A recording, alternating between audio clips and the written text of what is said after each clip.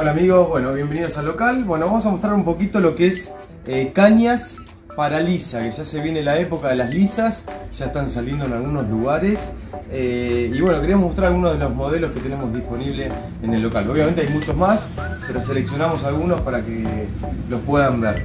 Por, la caña por excelencia para lisa, una caña ya súper reconocida, es la Surfish, el modelo lisa justamente, que viene de 3,80, 3 metros 80 de largo, telescópica, fíjate viene con el cubre, con el capuchón, cubre pasahilos, con los pasahilos súper reforzados, una caña toda de grafito, muy muy potente, bueno una caña ya súper probada, corta reel, bien fuerte, bueno una caña excelente para la lisa, esto para reel frontal o rotativo, la podemos usar con los dos rieles porque es una caña que no tiene los pasahilos muy altos, entonces es, híbrida.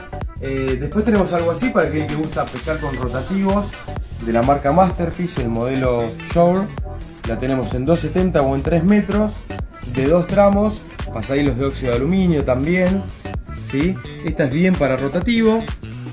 ¿sí? Fíjate el detalle del portarril que es un portarril que uno pone el reel en la altura que uno quiere, ¿sí? lo podemos poner más abajo, más arriba y lo ajustamos y ya queda ajustado. Como te decía, 2 metros 70 o 3 metros viene este, este, modelo disponible para rotativo, para que, que gusta pescar con rotativos o huevitos. Si no tenés algo así de la marca Berkeley, por ejemplo, también la tenemos disponible en 270 o 3 metros. Toda de una caña que es toda de grafito. ¿sí? pasahilos de óxido de aluminio. Esta ya es bien para frontal. ¿sí? Toda grafito, 270, 3 metros. Sino algo así también de bando, de la marca Bando. Con mango de corcho. También disponible en 210, 240, 270 y 3 metros. ¿sí?